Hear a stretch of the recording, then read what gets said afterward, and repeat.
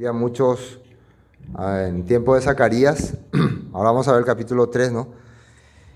Eh, había mucha expectativa acerca de la restauración final de Israel, de, la, venida del Mesías. Esa era la expectativa, como que se cumplió el castigo, eh, pagamos nuestras deudas, pagamos nuestras culpas y ahora viene la restauración. Entonces cuando nosotros vemos este libro, prácticamente nos está mostrando lo que el pueblo en ese tiempo estaba esperando, con muchas ansias. Y sus revelaciones, entonces, no, si ya que estaba esperando y estaba esperando ese tiempo eh, tan especial y si nosotros estamos todavía en este tiempo, quiere decir que seguimos esperando. Y si ya han pasado tanto tiempo de eso, podemos ver que estamos ya cerca a la restauración final.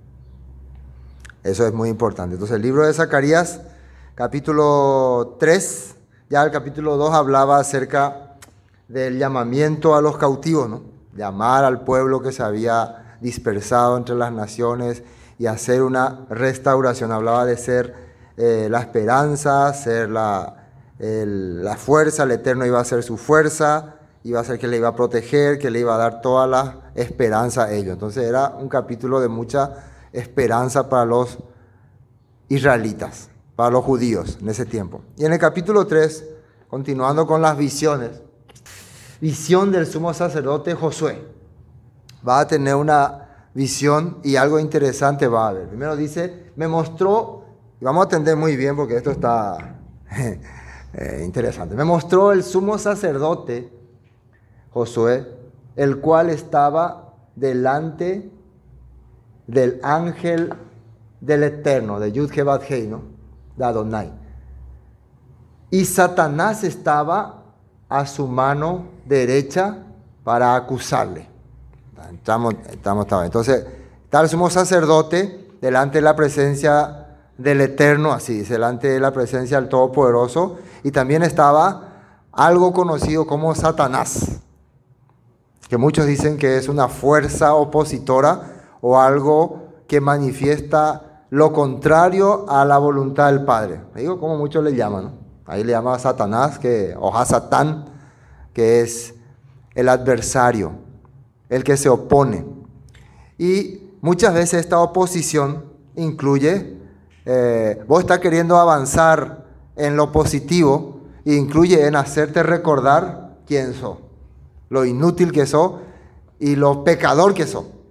Ya en eso eh, incluye el trabajo de, de Hasatán, ¿no?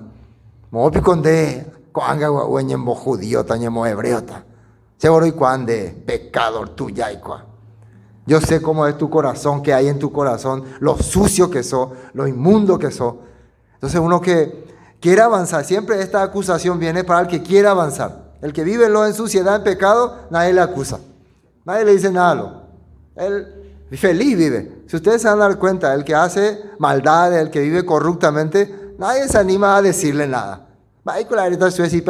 inmundo. Pero la persona que, que está intentando salir de la suciedad, está intentando dejar el paganismo, está intentando caminar la cosa correcta, siempre va a encontrar críticos, opositores, ese, qué épico va a decir. Si nosotros sabemos, predicador, guau, si la vez pasada pasó una señora necesitada y no la ayudó.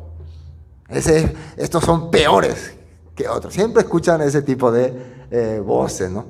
Eh, para, para alguien que quiere hacer lo correcto. Por eso muchas veces, sin darnos cuenta, nosotros somos utilizados por esta fuerza negativa y manifestamos negatividad a las personas y nos convertimos en hasatán, en opositores. Por eso es importante entender este punto. Bueno, entonces estaba ahí para acusarle. Y quiero ver un, texto. Vamos a entrar primero ahí en el punto 3. Vamos a ver unos textos que nos hacen recordar algo semejante, ¿no? Eh, justamente el libro de Job, ¿no? Hay Job, la historia de Job conocen. Él eh, vivía correctamente, hacía lo correcto, y un día dice que se aparece el grupo de ángeles en presencia del Todopoderoso y aparece también ahí el acusador, el que siempre está en lo opuesto, Hasatán. Y el Eterno le dice, ¿no has visto a mi siervo Job cómo es fiel, cómo es eh, piadoso, hace todas las cosas que me agradan? Y Hasatán que dice, no, y quebrantarle un poco, hacerle un poco, tocar un poco sus bienes, y vas a ver cómo te, te niega, ¿no? Y empezó así a acusarle, entonces le dio permiso, conoce toda la historia, ¿no? Y empezó a quebrantarle, a molestarle, a hacerle una vida terrible, hasta que Job llegó a, expresar su máximo Eh, su máxima humanidad. Porque lo que pasó con Job fue expresar su humanidad, lo que cualquier humano en desesperación, en un momento terrible, eh, logra decir ¿no? o hacer. Dice en el capítulo 9, eh, versículo 32, 33, si tan solo hubiera un mediador entre nosotros, alguien que pudiera acercarnos el uno al otro, ese mediador podría hacer que Elohim dejara de golpearme y ya no viviría aterrorizado de su castigo. Entonces podría hablar con él sin temor, pero no puedo lograrlo con mis propias, con mis propias fuerzas. Entonces él está esperando a alguien, porque él sentía que viene un juicio del Todopoderoso, ¿no? Estoy atormentado. Entonces, alguien a quien yo le pueda decir, mira, fulano, decirle un poco al Todopoderoso que, que, yo no, no, hice nada, o que hice, que, que me pueda explicar. Él estaba ya clamando por un mediador, alguien que interceda, alguien que se ponga en el medio. Y eso es lo que eh, va a aparecer ahí en el libro de eh, Josué, un mediador. Hay otro texto que quiero ver, Apocalipsis capítulo 12. Apocalipsis capítulo 12. Para, para considerar nomás este texto, no pasar de balde. Apocalipsis capítulo 12, versículo 7 habla de una lucha que hubo en, los cielos entre el Todopoderoso, eso, los ángeles del Todopoderoso y el, el opositor. Apocalipsis capítulo 12, desde el 7 vamos a leer. Dice así, después hubo una gran batalla en el cielo. Miguel, uno de los arcángeles, y sus ángeles luchaban contra el dragón y luchaba el dragón y sus ángeles. Había una batalla ya celestial, una lucha celestial. Pero no prevalecieron ni se halló ya lugar para ellos en el cielo. El, objetivo del enemigo era siempre ocupar el lugar del Todopoderoso, ser principal y hacerle siempre la contra. Y fue lanzado fuera el gran dragón, la serpiente antigua, así le, le considera, que se llama diablo y Satanás, el cual engaña al mundo entero, fue arrojado a la tierra y sus ángeles fueron arrojados con él. Entonces vinieron aquí en la tierra como morada. Entonces una gran voz en el cielo que decía, ahora ha venido la salvación, el poder y el reino de nuestro Elohim. Ahí habla del reino, el reino va a ser restaurado porque ha sido lanzado fuera el acusador. Y esa es la palabra que queríamos buscar. ¿Quién es este Hasatán? El que siempre está buscando la contra de las cosas que el Todopoderoso hace y tratando de desviar a las personas de la voluntad del Padre. El acusador de nuestros hermanos, el que los acusaba delante de nuestro Elohim día y noche. Entonces, este es el que siempre está tratando de poner al pueblo del Todopoderoso en, una situación opuesta a lo que el Padre quiere. Entonces acá en la Biblia dice que ha sido lanzado. No vamos a estudiar todo este capítulo solamente como referencia usamos. Eh, vamos a otro texto. En Edras capítulo 10. Eh, Edras capítulo 10. Edras capítulo 10. Aquí hay algo, algo, interesante, ¿no? Algo muy importante. Después ya entramos en, en Zacarías. Edras capítulo 10, versículo 16. Vamos a ver la razón por la cual Hasatán le estaba acusando al sumo sacerdote Josué. Así hicieron los hijos del cautiverio. Justamente hablaba de los que estaban fuera de, del reino, ¿no? que estaban en cautividad y fueron apartados del sacerdote Edra y ciertos varones jefes de casas paternas, según sus casas paternas, todos ellos por sus nombres. Se sentaron el primer día del mes décimo para inquirir sobre el asunto. O sea, una reunión para tomar decisiones sobre ciertas personas que habían vivido incorrectamente, que eran de la tribu de Leví, que estaban, porque Edra estaba reorganizando el, el pueblo y específicamente a los levitas para servir en el templo. Estaba haciendo una reestructuración y terminaron el juicio de todos aquellos que habían tomado mujeres extranjeras. Este es el pecado que habían hecho. Se habían casado con mujeres que no eran de su pueblo. Y eso era un delito, según la Torah, para los levitas, para los que iban a hacer servicio sacerdotal. Eh, tomaban mujeres extranjeras el primero del día del mes primero, dice. De los hijos de los sacerdotes que habían tomado mujeres extranjeras fueron hallados estos de los hijos de Josué, ¿no? o Yeshua, ¿no? hijo de Josadac, y sus hermanos Masías, Eliezer, Jarit y Gedalías. Y después continúa, continúa hablando lo que hicieron. Bueno, entonces, ¿cómo tú, tu familia se corrompió? Tu familia, no pudiste dirigir a tu familia, no pudiste hacer lo correcto, se casaron con mujeres extranjeras. Ahora, en la restauración, ya en la edificación del templo, el sumo sacerdote Josué está siendo acusado por Hasatán, de este delito, ¿no? como diciéndole, tú no eres digno de ser un sumo sacerdote, no tienes esa, ese don, así está recibiendo la acusación. Pero vamos a ver lo que ocurre en Zacarías después de esta acusación, sí. En Rosjodes. Sí, en Rosjodes, exactamente. ¿Sí? Exactamente, estaba afirmando. Vamos a ver Em, eh, continuamos, versículo 2. Em, y dijo el Eterno, acá hay algo, algo interesante, ¿no? y dijo eh, Adonai, el Eterno, a Hasatán, el Eterno te reprenda, oh Hasatán. El Eterno que ha escogido a Jerusalén te reprenda. ¿No es este un tizón arrebatado del incienso, una antorcha. Bueno, aquí vemos algo raro. El Eterno, dirijo el Eterno a Hasatán, el Eterno te reprendas. Hay dos Yud Hei, ¿no? Dos Jehová, así se ve, ¿no? Dos Jehová. Jehová le dijo a Satanás, Jehová, o sea, yo, yo te digo, yo te reprendo. Entonces, algo interesante y después de ver algunos textos, algunas, algunas explicaciones, otras versiones, podíamos entender que aquí aparece un mediador, porque eso es lo que vimos que en Job se necesitaba, que tiene las cualidades del Eterno, que es la imagen, la representación del Todopoderoso. Miren, eh, esta versión, vamos a ver, versículo 2, vamos a esta versión. Dice, pero esto es lo que yo encontré en la versión israelita nazarena. Dice, pero el mensajero, eso está agregado, ¿no? Del Eterno, le dijo al, al enemigo, a Satán, ¿no?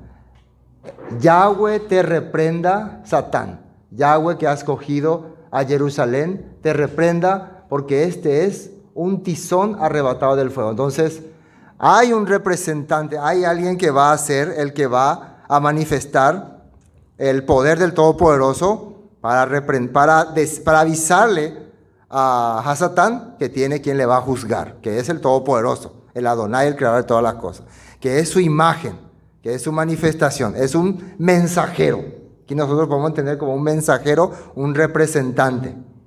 Y algo, algo similar también ocurre, vamos a volver a Zacarías, hay un texto en Zacarías, ahí en reprenda, vamos a ver en reprenda, ahí reprenda, la palabra reprenda.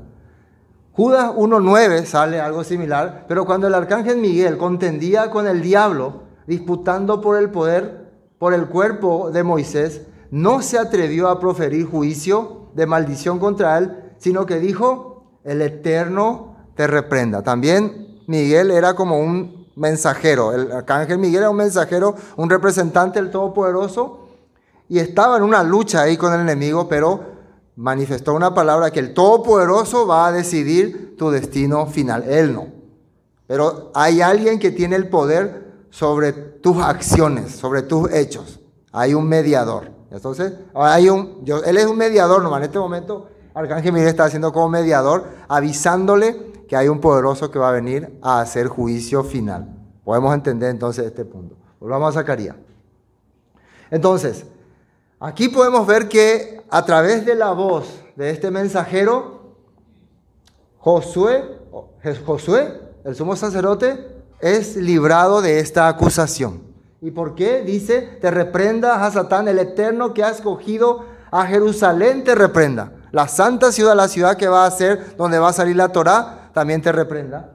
Porque no es este una antorcha arrebatada del incendio, es alguien que salió para continuar el fuego del Todopoderoso. Este es un, una chispa que se va a encender para continuar el plan del Todopoderoso. Entonces yo estoy preparando a esta persona. Aunque parece acá vil, insignificante, yo le estoy preparando. Yo le estoy dando mi poder. Entonces no hay fuerza que pueda eh, oponerse a la persona que empieza a vivir conforme a lo que el Padre estableció. Bueno, estamos leyendo el versículo 2. Vamos a continuar. Versículo 3. Y Josué estaba vestido de vestiduras viles y estaba delante del ángel. Entonces, ahora habla de la ropa, la vestidura.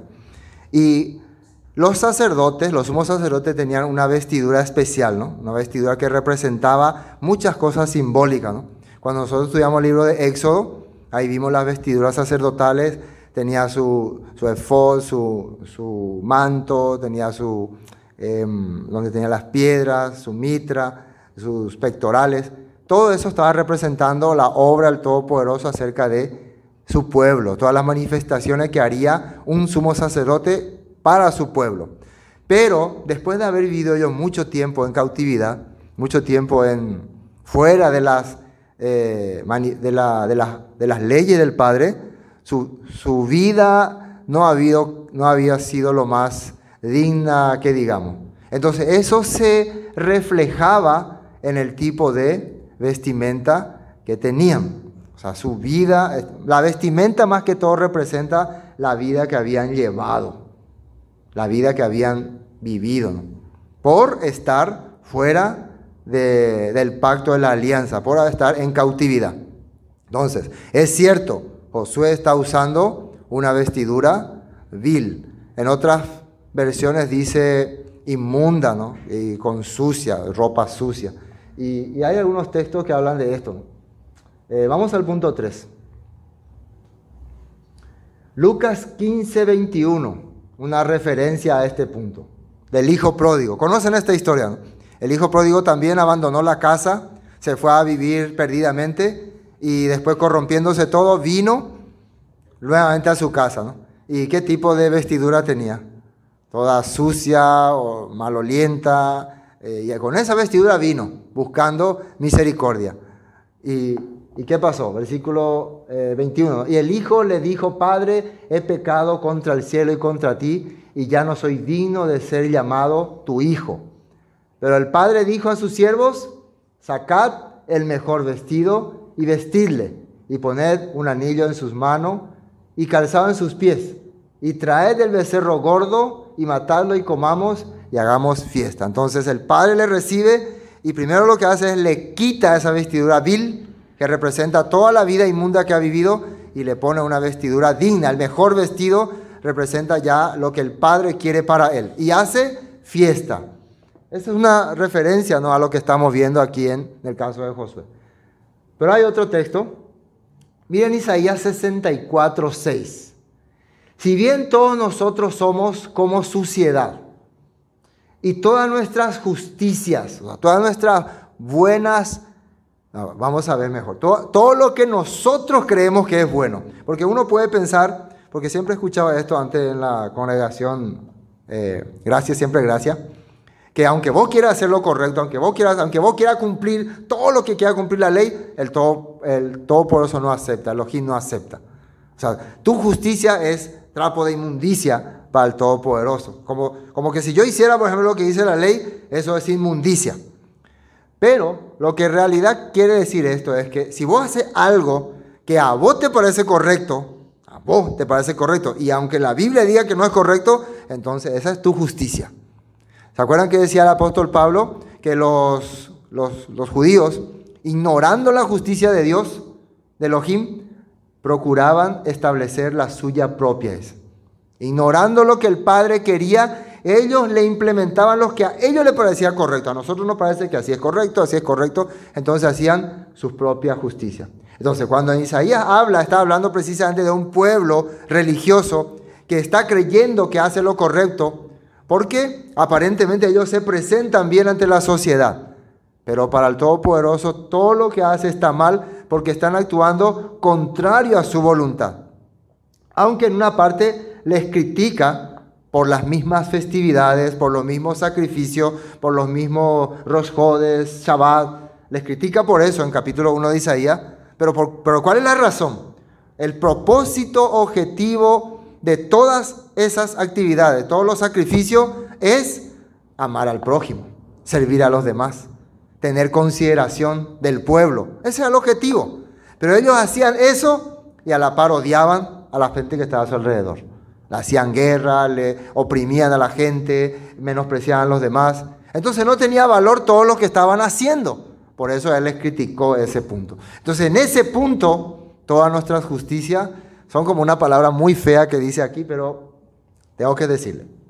Si bien todos nosotros somos como suciedad y todas nuestras justicias como trapo de inmundicia, nuestra justicia es como trapo de inmundicia. Y en algunas versiones y explicaciones de qué era un trapo de inmundicia, era generalmente algunos trapos que se usaban en los baños. Para limpiarse después de entrar al baño, eh, se usaba un trapo y después no se usaba todo, se doblaba y se seguía usando, y después se doblaba y se seguía usando, y después se doblaba y se doblaba, hasta que ya, de verdad, este ya no se puede más usar. Ya está inservible, ¿no? O sea, un trapo que se usó en el baño para, saben ya que, ¿no? Ustedes podrían usar después para un mantelito, para hacer servilletas, para lavarse la... Ya no se puede usar, ¿no? Ni por más que le lave, ¿no? Bueno, ese era una referencia de lo que es trapo de inmundicia. Después, otra referencia es de un trapo que generalmente las mujeres usaban en sus tiempos eh, de, menstruación, ¿no? Ese trapo que usaban, eso también era considerado trapo de inmundicia, donde son desechados cosas que ya no va a funcionar. Sea que ya no sirven. ¿Entienden? Entonces, prácticamente eh, era algo positivo, aparentemente, pero el resultado era cosas inservibles, que ya no funcionaban. Así está comparando nuestro, nuestro buen querer, lo que a nosotros nos parece correcto cuando salimos de la escritura. Ese es vestidura vil, vestidura eh, sucia. Ese tipo de vestidura tenía ese sumo sacerdote. No sirve todo lo que usted quiera, todo lo que vos planee hasta que sea restaurado por el Todopoderoso. Bueno, continuemos. ¿Aquí continúo o termino ahí? Nuestra maldad nos lleva. Bueno, continuemos. El... Ah, Ezequiel 36, 16. Vamos a ese capítulo. Vamos a ese capítulo. Atiendan bien este capítulo porque es interesante. Es algo de lo que se relaciona acá con el tema de eh, Josué siendo eh, restaurado. Siendo restaurado. Fíjense lo que dice. Vino a mi palabra de Adonai diciendo, Hijo de hombre, mientras la casa de Israel moraba en su tierra, la contaminó con sus caminos y con sus obras. Como, ahí sale la palabra, inmundicia, ya saben lo que significa de fue su camino delante de mí. O sea, hablando como de ese trapo que usan las mujeres en sus días, que ya después no van a usar más. Y derramé mi ira sobre ellos por la sangre que derramaron sobre la tierra, porque con sus ídolos la contaminaron. Esta es la vida que llevaban ellos antes que venga Babilonia y los lleve y los destierre y, queden, y queden en cautividad. Esa es la vida que llevaban. Derramé mi ira sobre ellos por la sangre que derramaron sobre la tierra, porque con sus ídolos la contaminaron. Les esparcí por las naciones y fueron dispersados por todas las tierras, conforme a sus caminos y conforme a sus obras, les juzgué.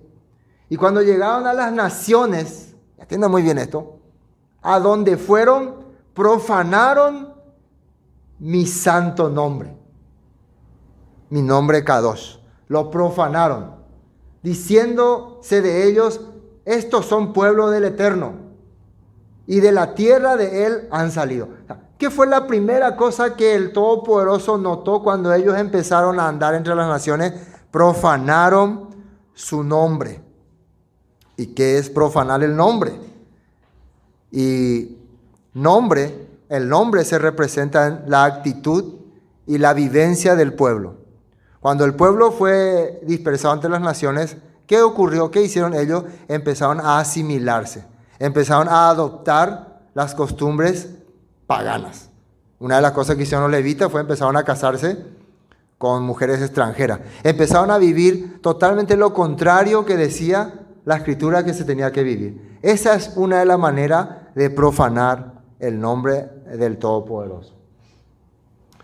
Continúa 21, Pero he tenido dolor al ver otra vez mi santo nombre profanado por la casa de Israel entre las naciones a donde fueron. Eso es lo que le dolió, dice.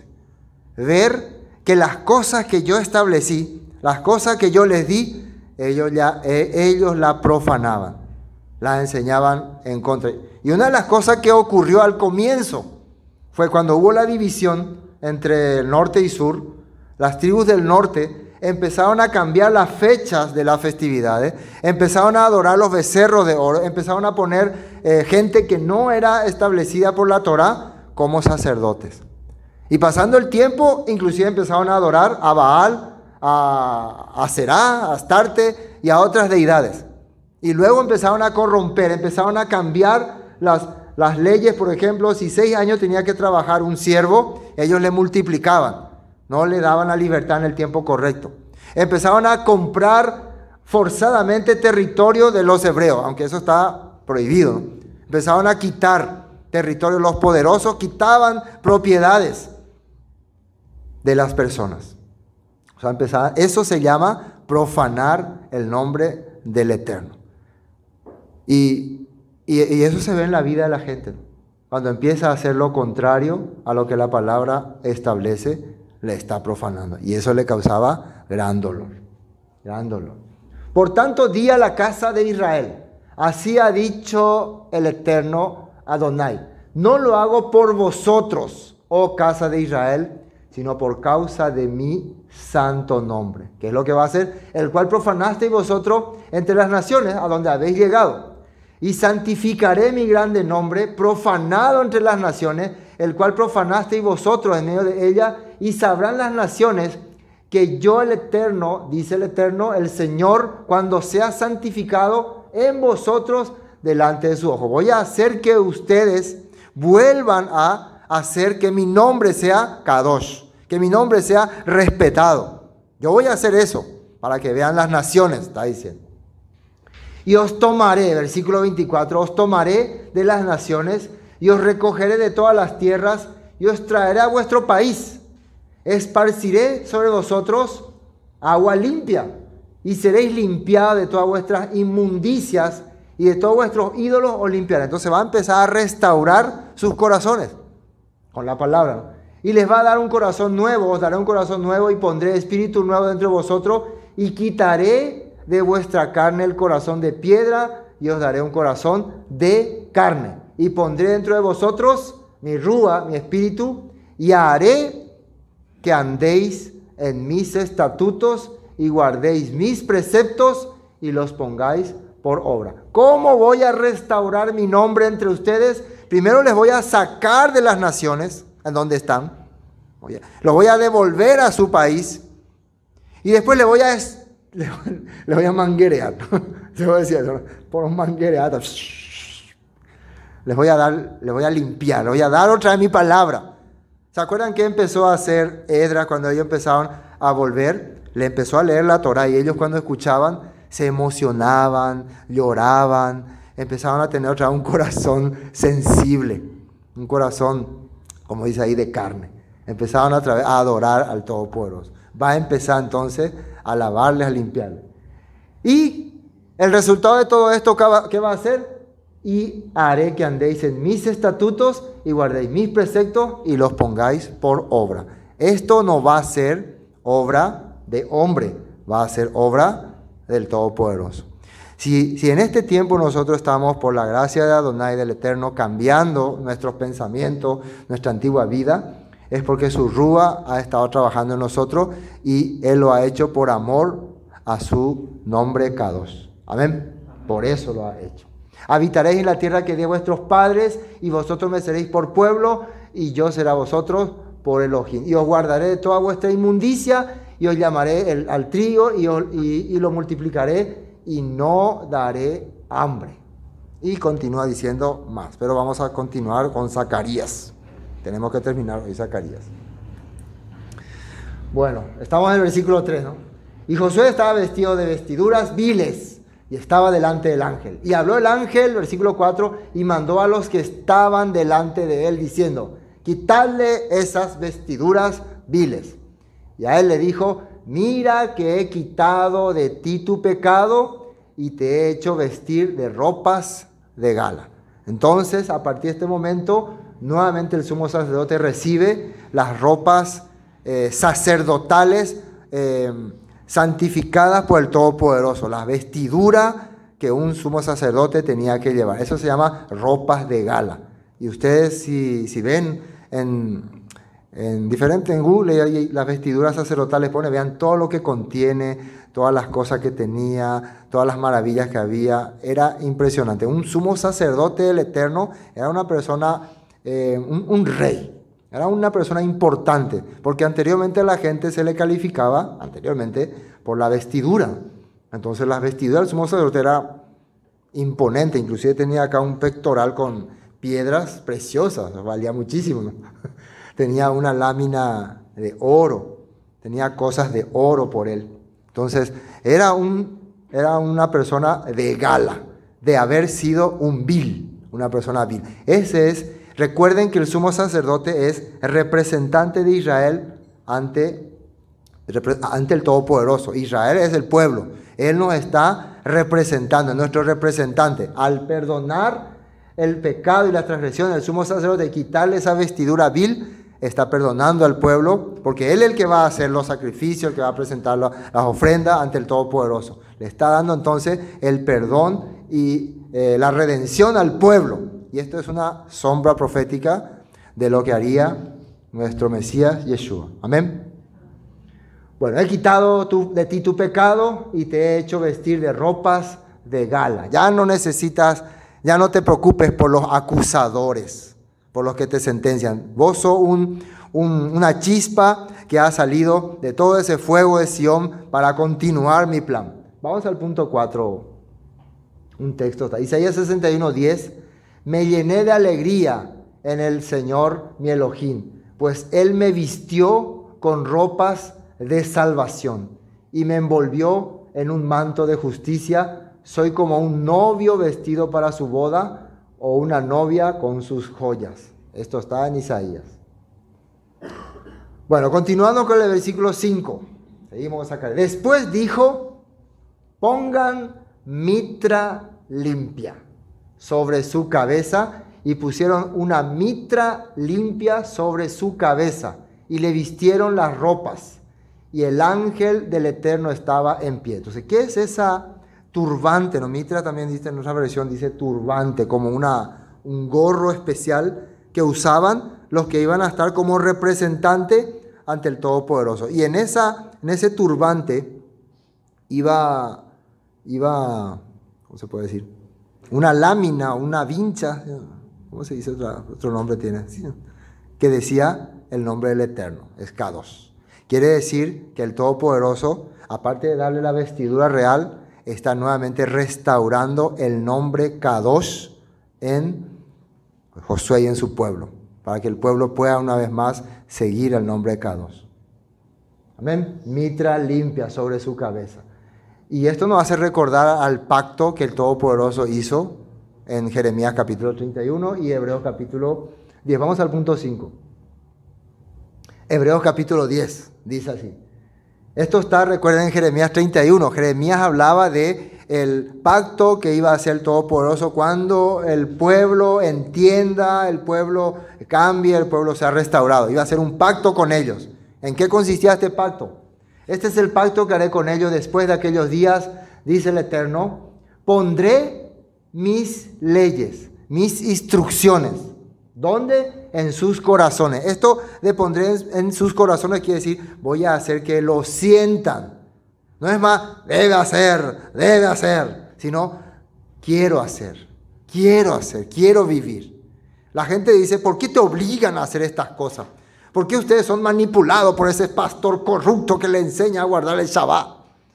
Pobres almas pecadoras, eh, ingenuas, son engañadas. Y la verdad, hay mucha gente que son engañadas, que son manipuladas. Yo trato de no hacer eso. Si por ahí les presiono en algo, perdón. Pero trato de que por lo menos ustedes quieran hacer lo que dice la palabra, siendo comunicador nada más. Siendo alguien que comunica lo que dice la Biblia y que en sus corazones salga el deseo de celebrar, de, guardar el Shabbat. Y por eso procuro muchas veces no acusarle a nadie. ¿Por qué no está guardando el Shabbat? Hereje, la ira del Eterno caerá sobre ti. Procuro no hacer eso. Aún eso me gustaría, pero no, no. Apártate de mi espíritu juzgador. Así siempre digo. Porque el pacto consiste en que sus instrucciones estén en sus corazones. ¿Verdad que es hermoso cuando alguien te ama de todo corazón, no? No porque alguien te ama, porque debes amar a tu marido. Imagínese que la, la, mamá le diga a la hija, tienes que amarle a tu marido, pero mamá no le amo. Tienes que aguantar sus ronquidos, tienes que aguantar todo. Ah, ¿Verdad que es terrible? Cuando te obligan a hacer algo que, que no está en tu corazón. Pero el nuevo pacto va a ser diferente. No como el pacto que hice con sus padres, donde invalidaron mi pacto, aunque yo fui, dice, un marido para ellos. Yo sí les amaba, yo sí eh, quería lo mejor para ellos, pero por lo visto ellos amaban más el becerro de oro y al instante me menospreciaron. Pero ahora sí, este nuevo pacto va a ser diferente porque ellos ya van a haber aprendido el amor del Padre, van a haber experimentado el cómo es vivir sin el Padre, estar fuera de la alianza, estar en el exilio y después van a querer, cuando vean que el Padre les rescata, les restaura por amor a su nombre, le van a amar. ¿Y qué es amarle al Padre? Amar sus instrucciones. ¿Qué decía Yeshua? Si me aman, guarden mis instrucciones, mis mandamientos en, eso, en eso se manifiesta el amor, la java, el servicio, el deseo. Amén. Bueno, entonces pondré mis leyes, ¿dónde dice primero? En sus corazones. Ya entendimos esa parte. Y esta es la parte importante también. En sus mentes las escribiré. ¿Qué representa la mente? No solamente, ay, como quiero cumplir los mandamientos del Padre. También va a entender por qué los tiene que cumplir. ¿Entienden? Uno, ¿Por qué guardar el Shabbat? Y porque uno se siente feliz cuando guarda el Shabbat. Uno parece que tiene gozo, tiene... No, pero ¿por qué guardar el Shabbat? Y porque uno, vos te sentís... No, no es solamente sentimiento, aunque el sentimiento es muy importante, es también entendimiento. Voy a hacer que quieran de corazón servirme y voy a hacer que entiendan lo que están haciendo. ¿Por qué celebran la fiesta? ¿Por qué se reúnen así? ¿Por qué guardan este mandamiento? ¿Por qué dice esto? ¿Por qué dice aquello? Como dice el Salmo 1, que bienaventurado el que medita en las instrucciones del Padre de día y de noche. Medita quiere decir que pone atención de por qué el Padre puso este mandamiento aquí. A medida que vos conoces el amor del Padre, vos vas a darte cuenta, ah, el Todopoderoso puso esto porque me amaba demasiado, porque sabía que era necesario para mí. Por eso puso había sido esto ahí. Entonces va a cambiar tu corazón, tu expectativa. Amén. Este es el pacto que va a hacer entonces. Y en sus corazones la escribiré y añade, y le añade, añadido al que tenga el deseo de servir al Padre y de que entienda lo que el Padre quiere para vos, se añade que Él no va a recordar nunca más tus transgresiones. Se acabó tus pecados pasados, todo lo que hiciste antes, opa, no me acuerdo. Aunque aparezca a Satán, ah, yo sí me acuerdo, yo sí sé quién eras tú, yo te conozco, conozco tus bailantas, tus trasnochadas, tus y salidas por ahí, tengo todo guardadito y un día las voy a revelar ante el tribunal. Pero ahí va a aparecer el mediador que va a decir, a Satán, el Todopoderoso, te reprenda. Tus acusaciones no tienen valor, va a ser mediador. Eso es importante. Entonces, esto es importante, una promesa muy importante que el Padre nos da. Amén. Eso es lo que está poniendo ahora en la cabeza de Josué, de Yehoshua, la cabeza, un turbante, un, algo que va a hacerle entender ese punto. Ese es el pacto que va a haber. Continuemos. Mitra limpia sobre su cabeza y le vistieron las ropas y el ángel del Eterno estaba en pie. El mensajero de Adonai estaba en pie. Y el ángel eterno amonestó a Josué, diciendo, ahora esta palabra amonestar, siempre entendemos nosotros como que le dio una exhortada, una regañada, una así. Pero amonestar simplemente también darle una, como una, un consejo o advertencia sobre algo muy importante. Y esta advertencia siempre la hemos escuchado. Esto es importante, ¿no? Fíjense que recién estuvimos hablando de Hebreos 17, un famoso versículo para nosotros, el versículo estándar de la salvación ya ha llegado a nuestra vida para siempre, ¿no? Nunca más me acordaré de tu pecado y transgresiones, ¿sí o no? Porque nos puso en nuestra mente, en nuestro corazón. Pero, aparte de eso, ahora viene lo que sigue. Después de haber entendido la redención, el perdón del Padre, ¿qué sigue? Una pequeña amonestación o algo que quiero que recuerdes y que no te olvides. ¿Se acuerdan que le dijo al paralítico eh, de Bethesda cuando fue sanado? ¿Quién se acuerda qué le dijo Yeshua después? Después se encontró con él. Mira que ha sido sanado. ¿Después? ¿Eh? Se olvidaron. ¿Eh?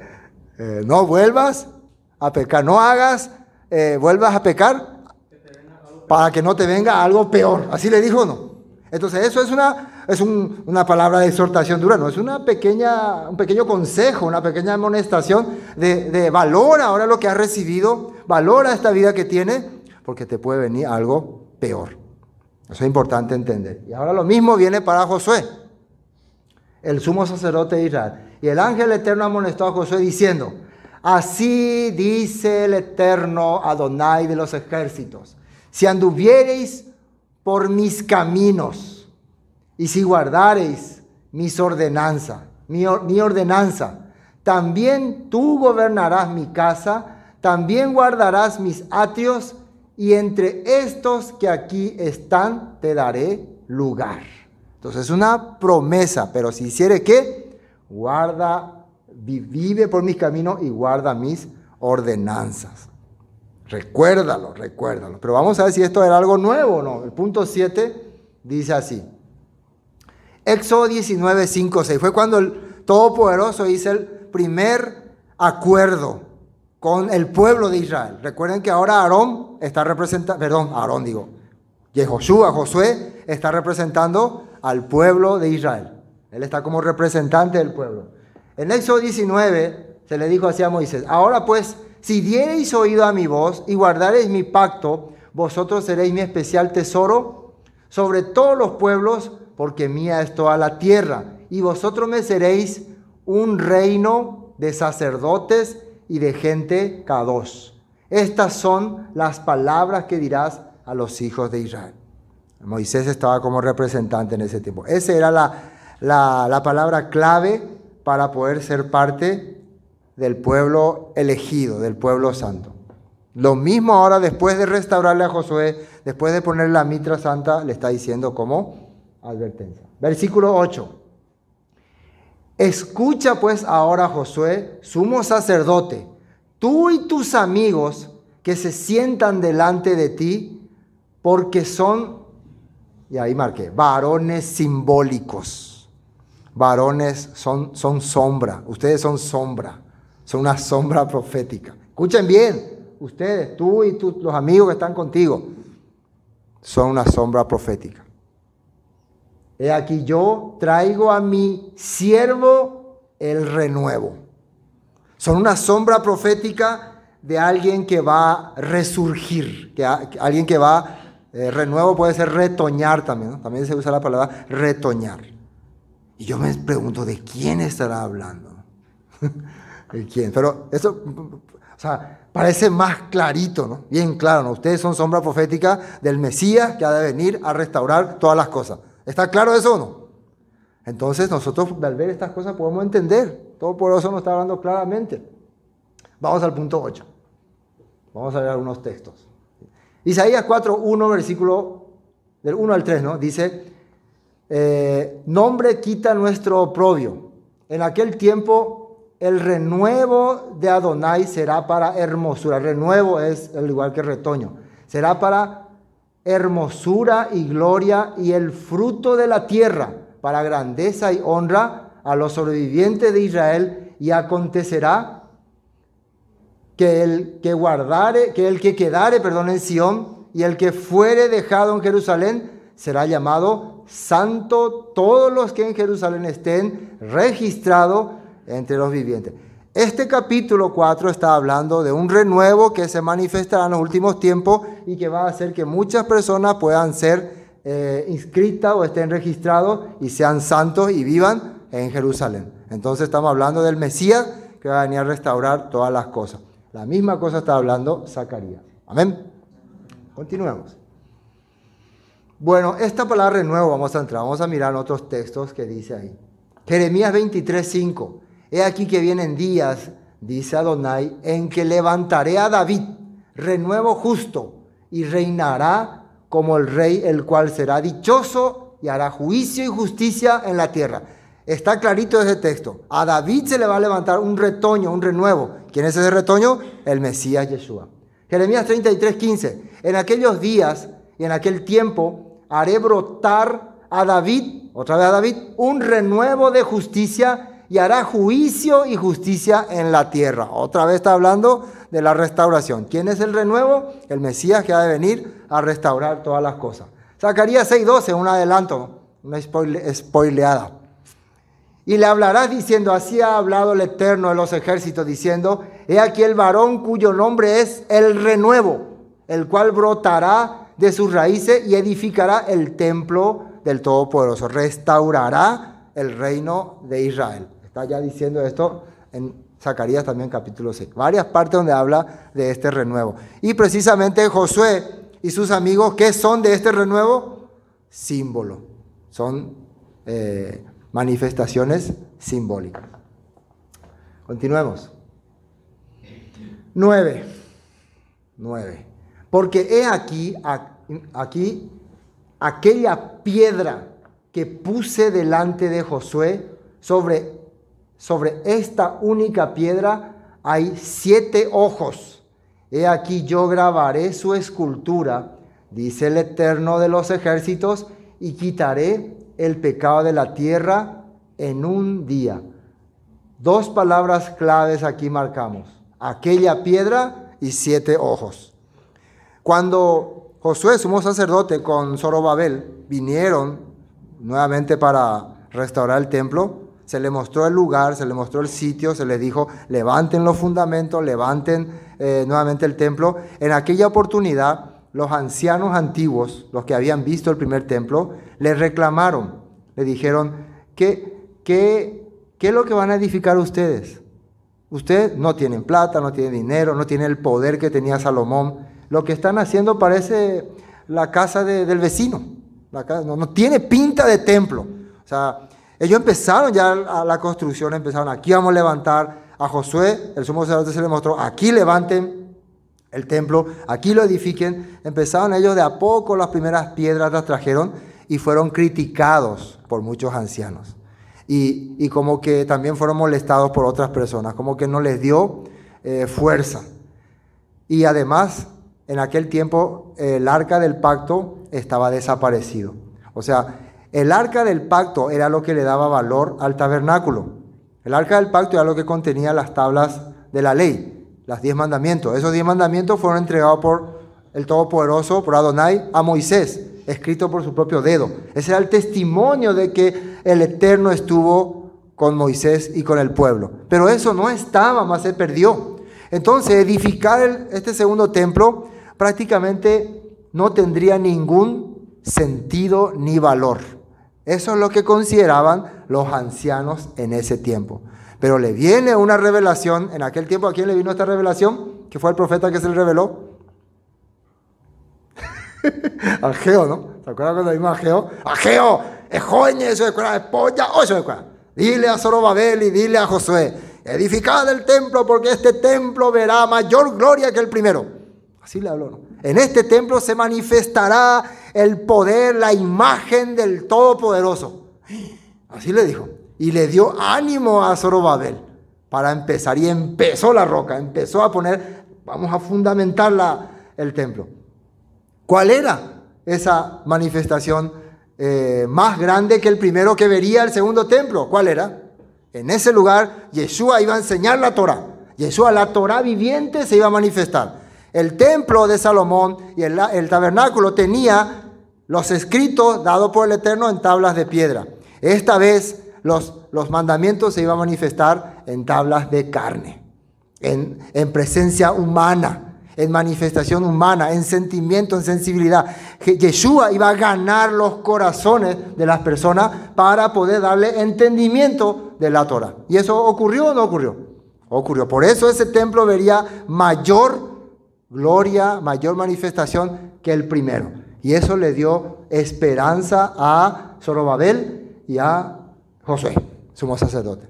Entonces ahora vemos acá en Zacarías, Josué está recibiendo una visión y aparece esta palabra de que porque aquí, porque he aquí aquella piedra que puse delante de Josué para empezar la, la edificación, sobre esta única piedra hay siete ojos. He aquí yo grabaré su escultura, dice el Eterno de los ejércitos, y quitaré el pecado de la tierra en un día. O sea, esta piedra, o sea, que eh, lo que va a edificarse, ¿no? Todo parece medio extraño, pero esta piedra, esto, esto que vas a empezar acá, va a tener siete ojos. Siete ojos en la escritura representa el Espíritu del Todopoderoso, siete manifestaciones. Y también va a quitar el pecado en un día. ¿Cómo se quitó el pecado? Cuando Yeshua dijo, consumado es, en la cruz. Se acabó el pecado. Entonces está hablando de quién. ¿Quién es esa piedra? Yeshua. Pero vamos a mirar más profundamente con algunos textos y alguna, alguna ¿cómo se puede Explicación de la palabra piedra. Vamos al punto 9. En, en hebreo la palabra piedra se dice Eben y tiene la letra Aleph, Bet y Num. ¿Está bien, no? Aleph, Bet, desde aquí, ¿no? Aleph, Bet y Num. Por eso leí así, ¿no? La letra Aleph es ya la que parece una X, la letra Bet la que parece un, un arco con una raya, un semi-arco con una raya, y la letra Num, que es una raya así. Qué manera de escribir, ¿no? es lo que yo estoy viendo y creo que es lo que ustedes están viendo también. Entonces, por eso sería Aleph, Ben, Num. Entonces, tiene un significado, ¿no? Ale es una cabeza de un buey y siempre está manifestado por una fuerza. No pude hacer aquí el dibujito, pero puse lo que significa. Y eh, Bet es una casa, es un hogar, una, donde vivía el pueblo, la gente. Y Num es una semilla, semilla de, eh, de descendencia. Entonces, la palabra piedra tendría en el pictográfico, si la analizamos, esta es una posible análisis que le hice, Recuerden que yo siempre le hago al pictográfico un posible análisis. Pueden sacarle otro significado de acuerdo a lo que uno vea, porque eran figuras. De acuerdo a lo que el, espíritu te hacía entender, vos podías manifestar. Entonces puede ser fuerza que edifica descendencia. Es un poder que va a construir algo que va a tener descendencia. Eso es la roca, eso es la piedra. Es un poder que va a construir algo. Y ese algo tiene continuidad, tiene, descendencia. Y en eso se manifiesta el poder del Todopoderoso. El Mesías fue enviado por Adonai. Adonai representa la fuerza. Yud el Eterno, representa el poder. Y va a establecer morada, establecer un hogar, un reino. ¿Sí o no? Un reino, un territorio físico para vivir. Y ese territorio tiene que tener descendientes, habitantes. Ahí encontramos muchísimas cosas interesantes en la palabra roca. Y por eso vamos a dar unos textos a ver qué dice. Restauración. Primera Pedro capítulo 2 versículo 3 dice así. Acercándose a él, piedra viva, piedra viva, desechada ciertamente por los hombres, mas para Elohim escogida y preciosa. Vosotros también, como piedras vivas, sed edificados como casa espiritual y sacerdocio santo para ofrecer sacrificios espirituales aceptables a Elohim por medio de Yeshua Hamashiach. Entonces la piedra fue desechada, dice por alguno. En el tiempo de Zorobabel, muchos de, cuando se le dijo a, Josué y a Zorobabel, aquí edifiquen, empiecen a levantar el cimiento, ellos no querían, ellos menospreciaron ese lugar. Pero ese lugar sería donde aparecería el Mesías. Y haría, haría que seamos parte de esa edificación, de esa, de esa obra. Por lo cual también, versículo 6, contiene la escritura, he aquí pongo en Sión la principal piedra del ángulo, escogida, preciosa, y el que creyere en él no será avergonzado. Para vosotros, pues lo que creéis, él es precioso, pero para para los que no creen, la piedra que los edificadores desecharon ha venido a ser la cabeza del ángulo. Para los que creen es precioso, porque cuando vos estás creyendo, creyendo en esa piedra, está creyendo en una fuerza que edifica y tiene descendencia. En una fuerza, en un poder que se manifestó en Abraham y que le dio la promesa de una descendencia y de una tierra en la cual establecería su reino. Simplemente eso es lo que vos estás creyendo cuando crees en esa piedra. Entonces, ¿es precioso o no es precioso? Súper precioso. Todo eso vos estás creyendo. Cuando rechazás esa piedra, está rechazando todas estas cosas. Entonces te va a hacer tropiezo. Piedra de tropiezo y roca que hace caer porque, porque tropiezan en la palabra siendo desobedientes a lo cual fueron también destinados. Una de las causas por la cual tropiezan es la desobediencia. ¿Qué representa esa piedra? Representa al Mesías, representa al poder eterno. El Mesías que trajo al pueblo, trajo redención, restauración y después palabra, instrucción. Eh, redención, restauración, instrucción. Entonces, la persona que rechaza esa piedra, que rechaza, aunque muchos no rechazan la redención, ¿no? No, yo fui redimido por la sangre de Jesús. Rechazan, aparentemente no rechazan, ¿no? La restauración sí están rechazando porque no quieren volver al camino que el Padre estableció y por ende rechazan también Instrucción, la parte más importante. Instrucción. Al rechazar la restauración, rechaza la instrucción. Interesante, ¿no? Interesante. Por eso fueron tropiezos para ellos. Y lastimosamente, eh, la cristiandad en general en nuestros tiempos eh, está en este punto, está en estas cosas. La, redención no rechaza, ¿no? pero no, no entienden el propósito por el cual eh, Yeshua los redimió. Yo no puedo decir, no, Yeshua no lo redimió a usted, porque el que acepta la redención de Yeshua lo acepta en su corazón, cualquiera. Pero ese, esa redención tiene un objetivo, tiene un propósito, restaurar tu vida. No puede ser que yo te redima de tus pecados, de tu inmundicia, de tu suciedad, para que vos te vayas otra vez a contaminarte y a vivir corruptamente. Eso, eso es inaceptable. Es como estar rechazando la gracia del Padre. Es como dicen en Hebreos 10, em, ¿no? Hebreos 10 dice, eh, pisoteare la sangre del Hijo y la tuviere por inmunda. Eso es, y, increíblemente muchas personas este punto no logran comprender. Por eso, em, desobedientes a lo cual fueron también destinados. Continuamos, hay un texto más. Siete ojos, siete ojos. Había, ¿no? Siete ojos. La piedra tiene siete ojos. Una piedra que tiene siete ojos. ¿De qué se trata? Apocalipsis 1, Dice, versículo 4, Juan, a las siete iglesias que están en Asia, gracia y paz a vosotros del que es, el que es y que era y que ha de venir, el que estuvo siempre. Está hablando un espíritu que está en todas partes, una fuerza que controla todo. Y ha de venir. Y de los siete rúa, siete espíritus, siete manifestaciones. Ese siete podemos entender que está en todas partes. Plenitud total.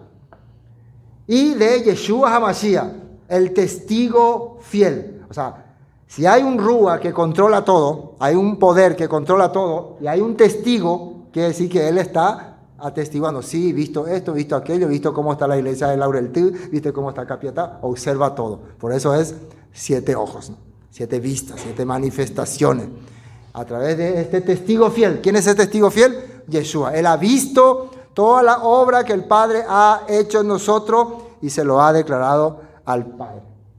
Entonces la palabra clave aquí es testigo fiel, el primogénito de los muertos y el soberano de los reyes de la tierra, al que nos amó y nos lavó de nuestros pecados con su sangre. Eso representa entonces esta roca con sus siete ojos. Amén. Pero hay más. Casa morada. Recuerden que la palabra piedra tenía una palabra bet. La palabra bet era casa, era morada. La palabra a a, bet, ¿cómo se lee? Ab. Y ahí sale, de ahí sale la palabra ab, es padre. Entonces la palabra padre tenemos fuerza, poder y hogar. la palabra padre significa un poder que da hogar. O sea, un poder que da casa. Nuestro padre es entonces el que tiene fuerza y nos construye la casa. ¿O no? ¿Sí o no? Pero entre la palabra eh, ab y eben, eben, ¿no? Eben es la piedra hay una palabra intermedia, que es la palabra bet, que significa casa. Entonces, dentro de esta palabra piedra, estamos la palabra bet, y miren lo que sale en la escritura. Juan 14, 23. Respondió Jesús y le dijo, el que me ama, mi palabra guardará, y mi Padre, mi Ab, mi Ab, le amará, y vendremos a él, ¿y qué? Y haremos bet en él con Él. Moraremos con. Haremos un hogar, una casa.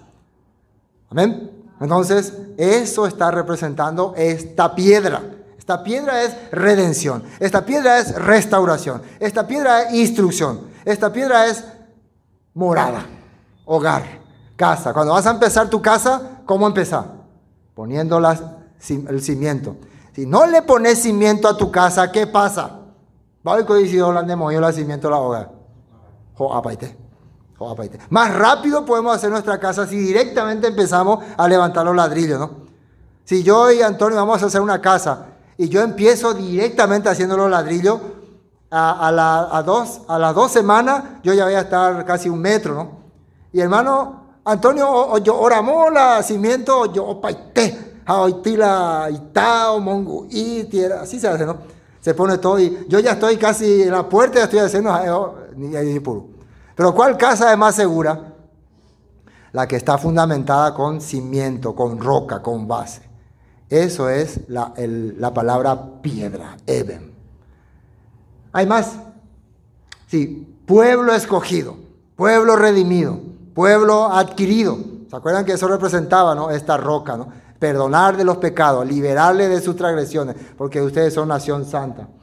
Efesios 2, 19, versículo Ah, y eso, 19, Efesios 2, versículo 19. Así que ya no sois extranjeros, ni advenedizos, olvidados. La palabra advenedizo, olvidado. Sino conciudadanos de los santos y miembros de la familia de Elohim. Miembros de la familia de Elohim. Les recomiendo leer todo este capítulo 2 para entender el contexto. Miembros de la familia de Elohim. Miren lo que dice acá edificados sobre el fundamento. Nosotros al ser miembros de una familia estamos siendo edificados sobre una base, la base que, el, que Ageo le mostró a Zorobabel y a Josué, que era el templo, el lugar la casa de Sion, donde iba a ser restaurado eh, Israel. ¿Sí no? ¿Te acuerdas? La, la, roca, esa roca, que muchos ancianos que vieron el templo de Salomón lo rechazaron. El problema con el templo de Salomón fue que durante, la, eh, durante, eh, durante que estuvo en pie ese templo, el pueblo que hizo se corrompió, se dividió, adoró a Baal, adoró a Astarte, estuvo ahí Atalía, estuvo eh, Manasés, estuvo todos esos reyes corruptos. Entonces, esas, esas fueron todas las glorias que se manifestó. Pero el templo, este templo, que va a ser edificado acá. No va a tener la grandeza que tuvo el primer templo, pero va a estar ahí la roca viva. Amén. La roca que tiene el poder de restaurar todo. Edificado sobre el fundamento de los apóstoles, fundamento de los apóstoles. ¿Y qué recibieron los apóstoles de enseñanza? El mensaje de Yeshua. Yeshua cómo le enseñó a sus apóstoles. ¿Se acuerdan cuando, cuando iba con los apóstoles, con esos dos de Maús?